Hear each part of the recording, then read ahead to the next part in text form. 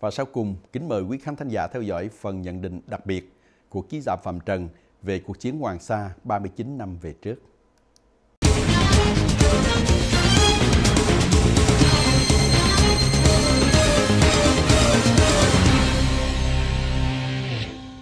Tôi là Phạm Trần xin kính chào quý vị đã đến với bản tin đặc biệt trong ngày hôm nay. Thưa quý vị, hôm nay là ngày 17 tháng Giêng 39 năm về trước năm 1974. Vào giờ phút này, Mao Trạch Đông đã chính thức ra lệnh cho quân đội của Trung Cộng tấn công vào quần đảo Hoàng Sa của Việt Nam.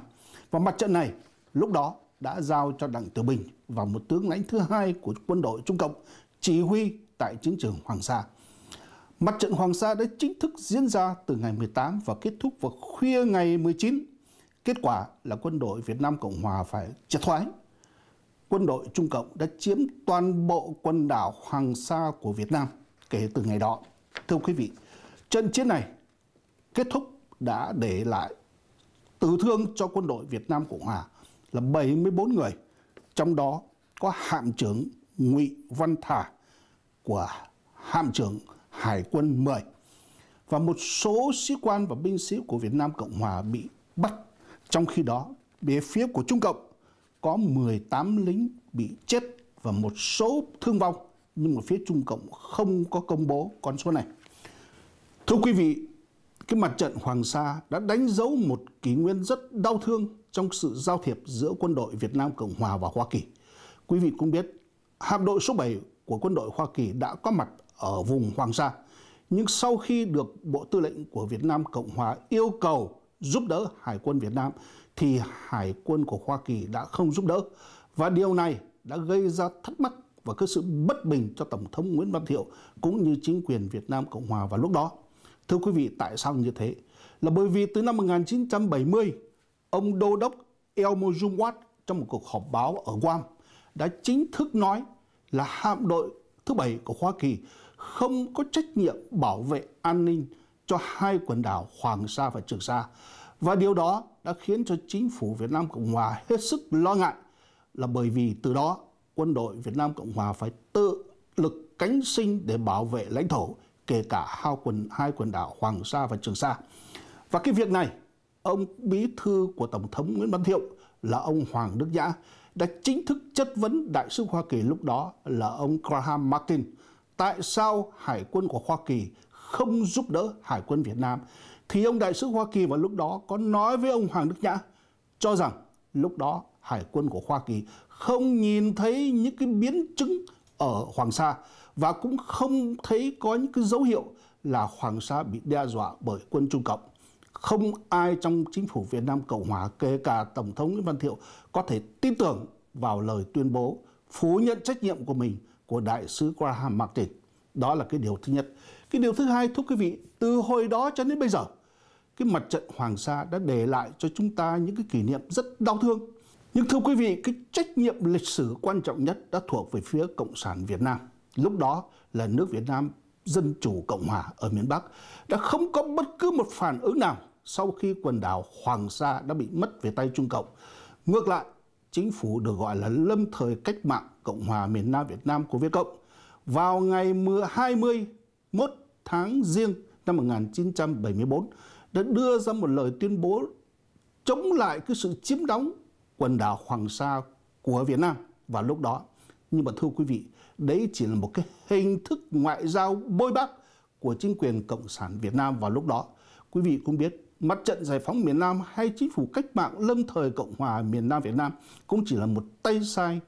đắc lực của Cộng sản miền Bắc. Vì vậy, cái lời xác nhận chủ quyền cũng như lên án Trung Cộng vào lúc đó của chính quyền Việt Cộng không có nghĩa lý gì. Ngược lại, chính quyền Việt Nam Cộng Hòa đã đưa ra bạch thư và tái xác nhận lại chủ quyền của Việt Nam Cộng Hòa trên quần đảo Hoàng Sa.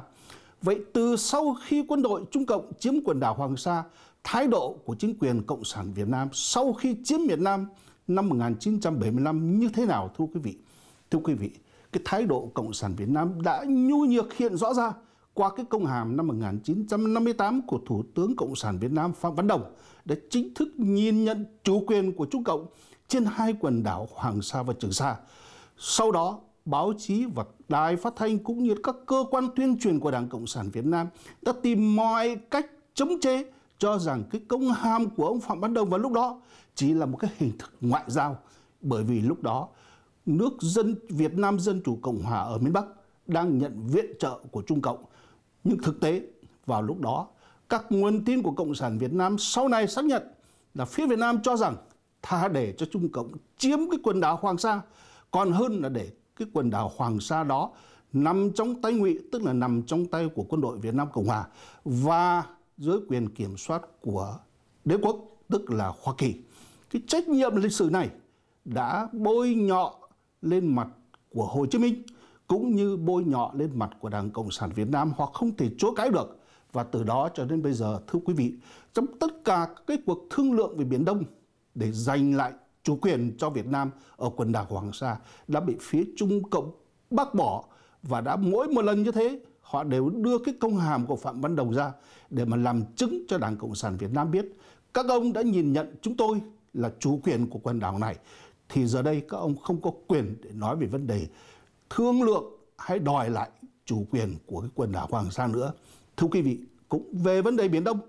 tại quần đảo Trường Sa năm 1988, quân đội của Trung Cộng đã bất ngờ tấn công và chiếm 8 cái đảo đá ngầm ở quần đảo Trường Sa. Từ ngày đó, quân đội Trung Cộng đã tăng viện, đã xây các căn cứ quân sự hải quân và thường xuyên đi tuần tra và đã gia tăng áp lực nặng nề lên trên quần đảo Trường Sa của Việt Nam.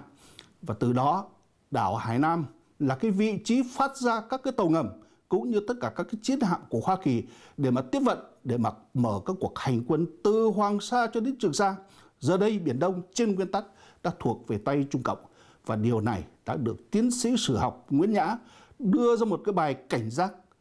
vào ngày 14 vừa qua. Trong đó, ông gửi cho mạng báo Bosit và ông nói rằng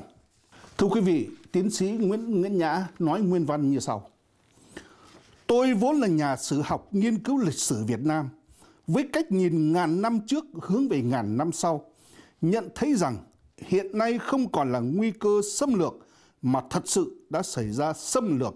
lãnh thổ ở Biển Đông và xâm lược phá nát kinh tế văn hóa xã hội Việt một cách sâu thẳm chưa từng có. Thưa quý vị, đây là lần đầu tiên một nhà sử học ở trong nước đã lên tiếng cảnh giác như thế và đã yêu cầu Đảng Cộng sản Việt Nam phải bỏ tất cả những cái điều bao cấp của họ, kể cả vấn đề bao cấp yêu nước. Bởi vì tại sao thưa quý vị, từ trước cho đến bây giờ, tới năm 2007, Đảng Cộng sản Việt Nam đã ra lệnh cho công an đàn áp dã man tất cả những cuộc biểu tình của người dân từ Sài Gòn ra Hà Nội để bảo vệ chủ quyền của Việt Nam ở tại hai quần đảo Hoàng Sa và Trường Sa. Giờ đây, Đảng Cộng sản Việt Nam đã chứng minh là họ đã hoàn toàn bất lực trong vấn đề bảo vệ đất nước, trong vấn đề bảo vệ hai quần đảo Hoàng Sa và Trường Sa.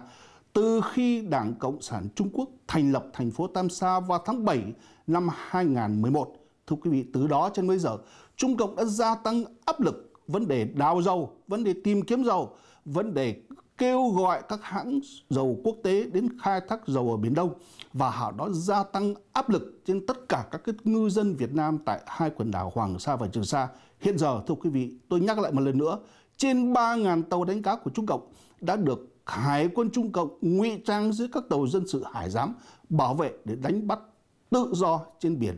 của Việt Nam từ Hoàng Sa cho đến Trường Sa. Đấy là một cái kỷ niệm rất đau buồn kể từ khi chúng ta mất quần đảo Hoàng Sa về tay Trung Cộng năm 1974, 39 năm về trước. Tôi là Phạm Trần, xin kính chào quý vị. Kính thưa quý vị, đến đây chương trình phát hình của bản tin quanh tin đốn sẽ được chấm dứt. Cảm ơn quý vị đã theo dõi. Kính chúc quý vị những giờ phút còn lại của ngày hôm nay thật an lành và hạnh phúc. Chúng tôi xin kính chào tạm biệt và hẹn gặp lại quý vị vào kỳ phát hình lần tới.